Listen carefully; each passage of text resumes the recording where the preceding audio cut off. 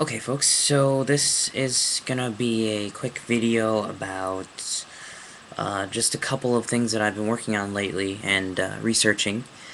Um, and just sort of a couple of reflections, I guess, uh, philosophically.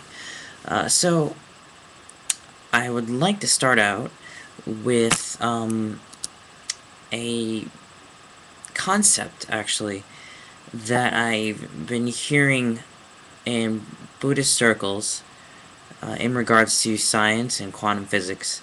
Uh, basically, uh, a very a more common argument by authors such as B. Alan Wallace and just um, contemporary culture around Buddhism and talk around Buddhism is that uh, the scientific the the science behind quantum mechanics is in a way um, demonstrating that Buddhist concepts on reality and consciousness were intuitive, um, and that now the science is revealing the reality, the empirical reality of these um, ancient observations on the nature of consciousness through meditation. Uh, and basically, that's been one of the most interesting aspects of modern Buddhist uh, discussion, I guess you could say. I guess you could call it sort of a, a, a Buddhism moving on to uh, a scientific dialogue with uh, the world. And uh, I, I think,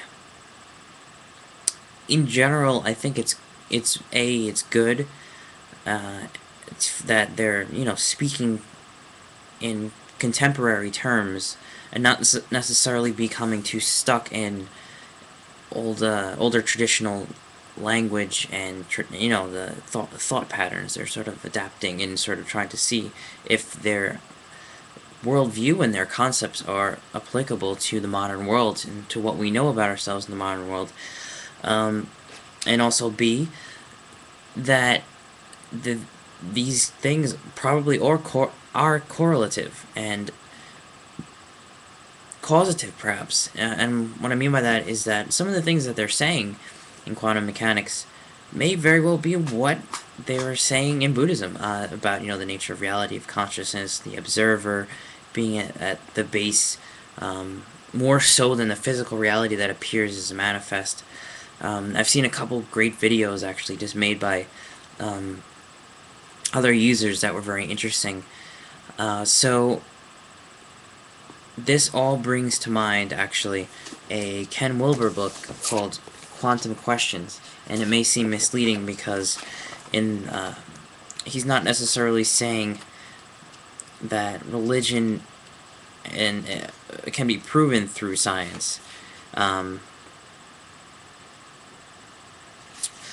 but basically, an argument that I've heard, and not just from Wilber, but a common counter argument to this new relationship between um, hard science and and spirituality is that look the whole point in a spiritual teaching is that it's supposed to be some kind of transcendental truth about reality some kind of ob observance that is perhaps timeless or something that has more lasting value than, say, scientific theories which change very quickly and very rapidly.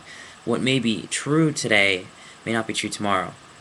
So, I guess to give you an example, uh, I, I, don't know if Wilber gives this example, but uh, basically imagine if, if Buddhism was trying to apply itself and say, look, uh, the science of Newtonian physics uh, helps describe Buddhism.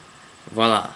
But, oops, all of a sudden now, now uh, a few hundred years later, we have the theory of relativity, more relativistic physics. Uh, what happens to Buddhism?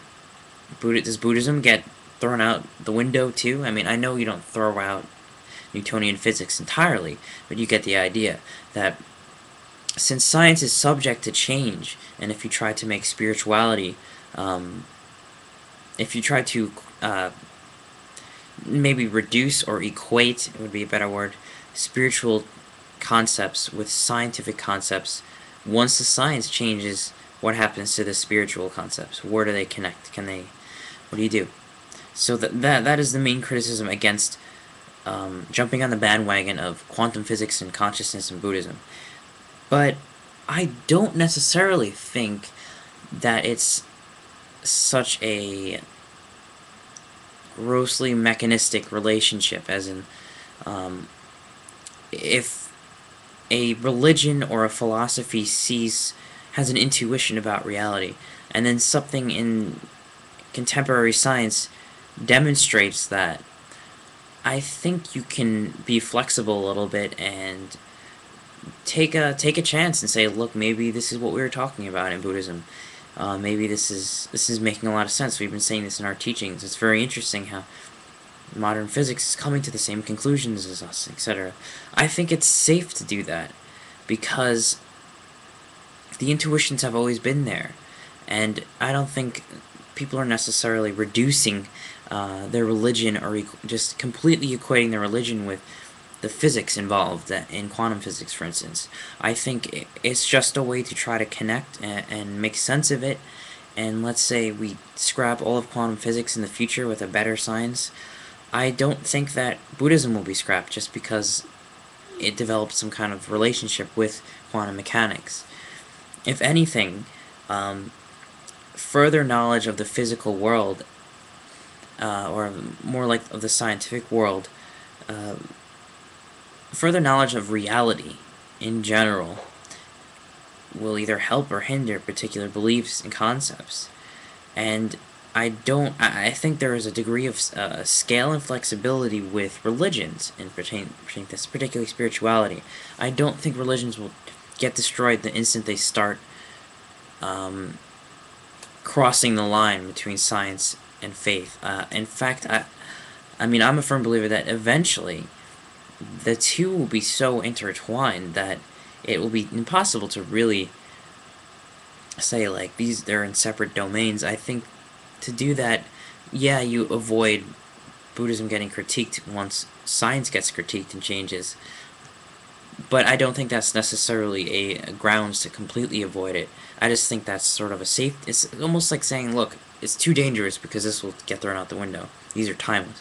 But that that reminds me of, for instance, uh, the same thing Descartes did with um, the physical world and the uh, the spiritual conceptual a priori world, which he kind of divided up. He created the he was mostly responsible for you know dualism. Uh, mind and body, etc., etc. The two have always been inter intertwined, and I think in the same way, spirituality, um, spirit and science, the physical world, modern terms for the physical world, and ancient term terms for the world in general, they don't necessarily, in the end, clash. I think they have the same source, the same heart. So, I think it's okay. I think it's actually very good that we're talking about quantum physics and Buddhism. And uh, yeah, if your your thoughts uh, are welcome. Thanks for listening.